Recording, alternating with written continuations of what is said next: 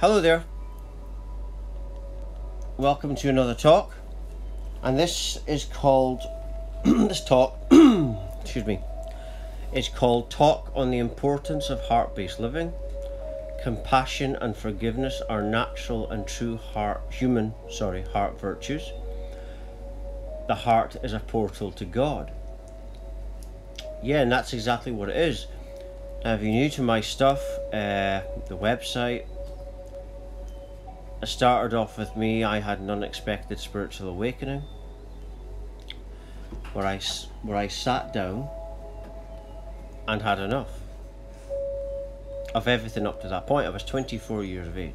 I'm 34 this year, so just under 10 years of this awakening.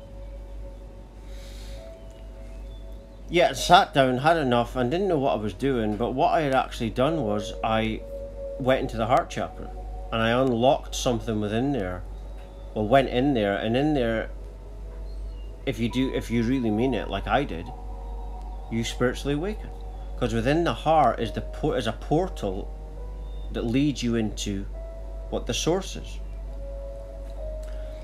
Uh, it's even in science in America. Uh, they've got this place called the HeartMath Institute, and they've proven scientifically that the heart can can heal us, and through heart connections we can heal the heal the planet. So it's working on things like being non-judgmental, having compassion, forgiveness. And those, see, most virtues, when people virtue signal, that's not the real virtues. The real virtues are in the heart, whatever the heart feels. Those are the only true virtues. The virtues that people signal, like face masks and all that stuff. I am vaccinated. These are fake virtues that are made up by the system. And the people that virtue signal like that, they are not living from their heart. They are living in the, they're in some deluded thing, uh, you know, that the, the government would never wrong them. You know, but once you start living from your heart, you'll start knowing that that that, that there's nothing to be afraid of, and you don't need to protect yourself from anything. Uh, you and you do protect yourself by opening your heart as much as possible. Like I say, compassion and forgiveness and and this develops unconditional love. And the HeartMath Institute, as I was saying earlier, has proven that, that, that, that this energy can actually heal the whole body. Uh, love can heal the whole body. Uh, like asthma, I was looking up today early in the morning and I found out that asthma is related to trauma. And conditions related to the heart, respiratory, the breathing.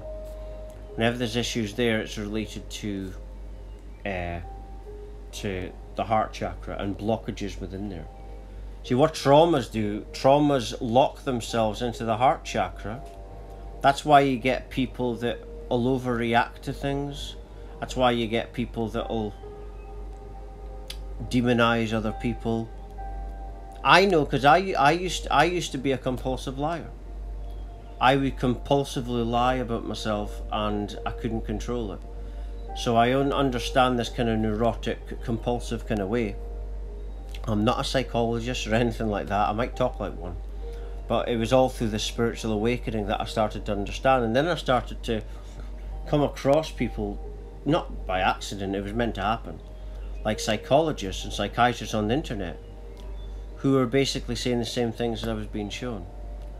That the way to heal is to every time you notice a trigger within you, whenever you're going to demonize the person, at that moment, forgive yourself.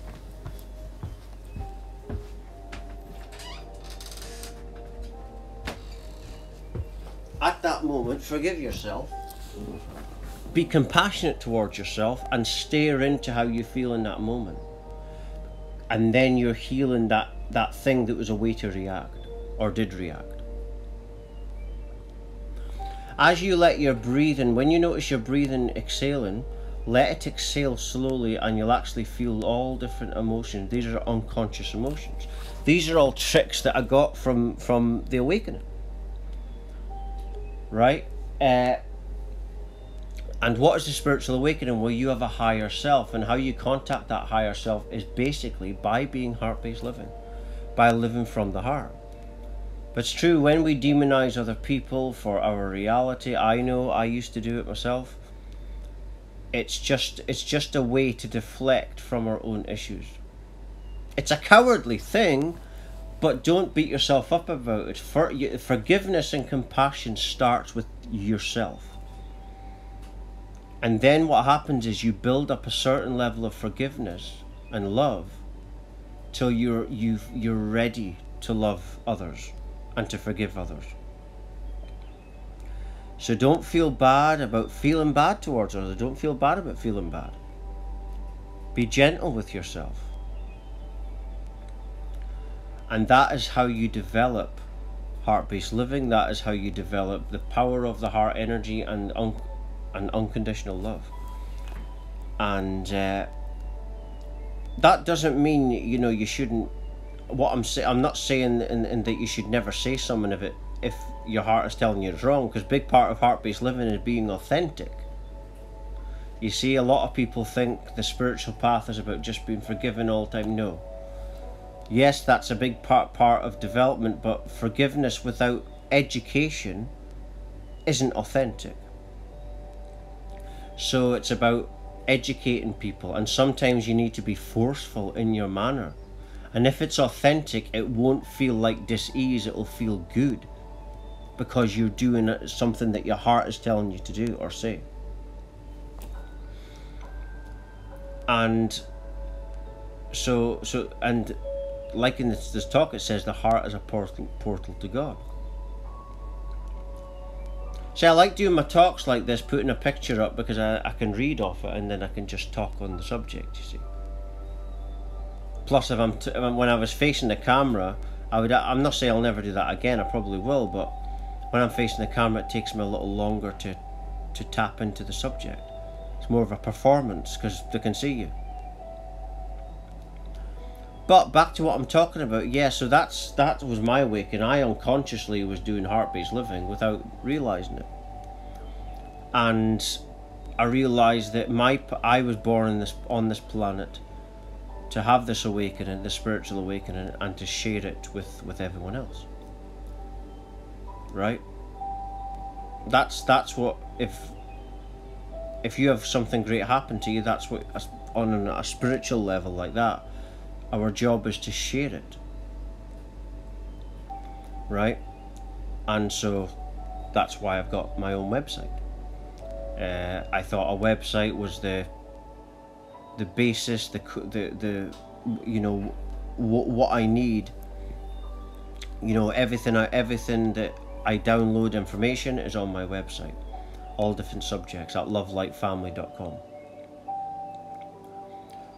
But so, how to practice heart based living is yeah, just when you feel when you're demonizing someone, instead of demonizing them, that's that's what I call the angelic signs. Angelic signs is what I give name to those moments when you're about to judge or demonize. Okay, we all do it. As soon as you feel yourself doing that, pause, stop, forgive yourself, and stare into that, consciously stare into that feeling you have right now. That is the unconscious emotion that, that you need to heal. By being by staring consciously at it, we heal that issue simply by doing that. Then you get insight into that issue and you'll get insight and clarity on why it's there. So so the way to practice is everyday life in situations. Every time you get triggered, from the moment you get up to the moment you go to bed, practice this. And then the heart energy, what's happened is the traumas are getting unblocked. And then you're you're uh, you're becoming the example of what to be.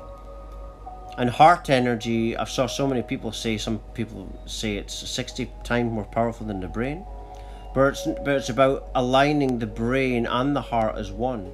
Like mindfulness meditation a lot of meditation is about ignoring the rational mind. Mindfulness meditation is about the merging between the rational mind with the heart chakra.